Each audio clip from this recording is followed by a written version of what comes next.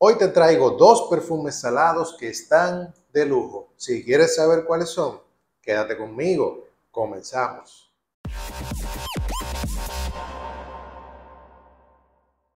Bienvenidas y bienvenidos de vuelta a Estudio Olfativo. Yo soy Aneudis y como te dije en la introducción, hoy te traigo dos perfumes salados que sé que te van a gustar. Hace unos días te presenté la fragancia Atlas de la Tafa, que es un perfume que tiene como eje central o como único eje, ya que es un perfume completamente lineal, esta nota de agua marina bien, bien salada. Es como ahogarse en un océano. Sin embargo, por lo que leí en un comentario, y tiene cierto sentido, la fragancia es un poco difícil, ya que esta nota marina muy subida de tono y completamente lineal para muchos suele ser muy retadora.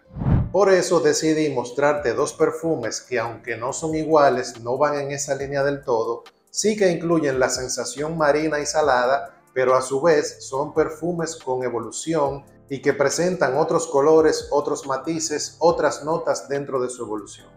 La primera que te quiero mostrar es esta de John Barbatos, que es Artisan Deal. Aquí lo que tenemos es una fragancia, así mismo como el color de la botella. Una fragancia que tiene una salida verde aromática muy chispeante porque se compone de una nota de limón bien brillante, pero que además viene a la par muy muy parejo con una nota de romero bien aromática y bien verde.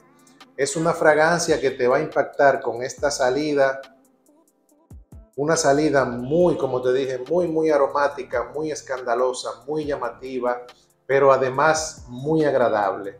El limón como salida es una de las notas más agradables que puedes encontrar y cuando está bien equilibrado porque viene parejo con algún tipo de especia que le viene a añadir un poco más de cuerpo, ¿qué te digo? Es una salida maravillosa.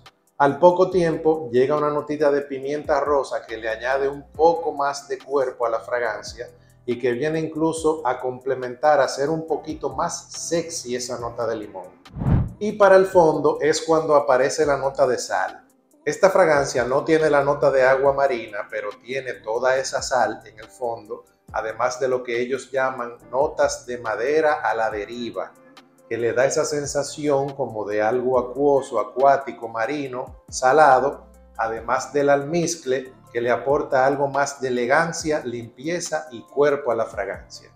En fin, una fragancia que se presta para casi cualquier situación, para el gimnasio, para la oficina, para un almuerzo de negocios, para una boda en la playa, para la piscina, para una reunión formal. Es una fragancia que que es como un camaleón que se adapta prácticamente a cualquier situación, obviamente quizás dejando de lado la época más fría.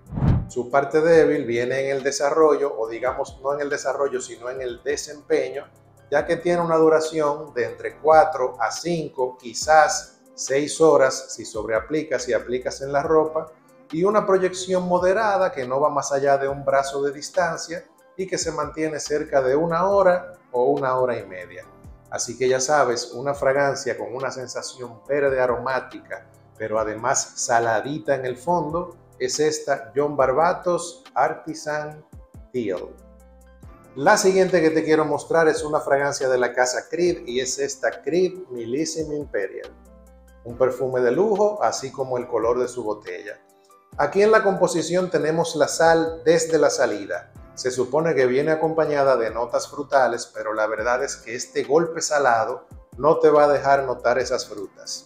Ya cuando la sal se hace un poco a un lado, entonces sí comienzas a percibir estos aromas de las frutas, pero más que las frutas, que esas notas frutales, ese mix frutal que declaran la salida, comienzan a emerger ya los cítricos que están aquí en la parte media de la fragancia.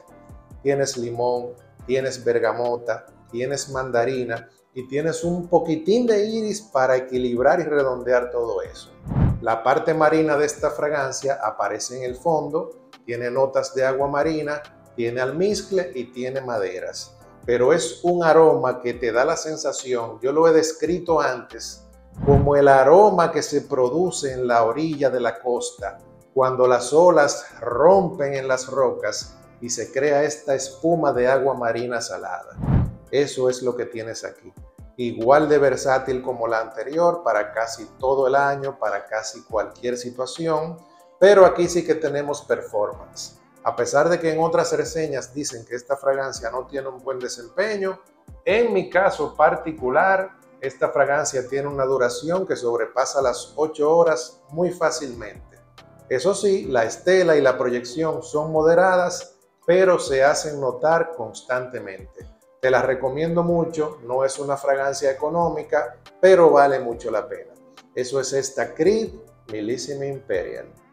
Y bien, eso ha sido todo por este video y como siempre, si fue de tu agrado, pero sobre todo si te fue útil, te pido que me apoyes con un like. No te olvides de dejarme aquí debajo en los comentarios si conoces cualquiera de estas fragancias y cuál ha sido tu experiencia al utilizarlas. Pero sobre todo me gustaría saber cuáles otras fragancias marinas saladas conoces y recomiendas. Si no estás suscrito al canal, te invito a que por favor lo hagas y al mismo tiempo actives la campana de notificaciones para que seas siempre de los primeros en enterarte cuando subo nuevo contenido. Así que nos vemos en un próximo video de Estudio Olfativo. Tchau.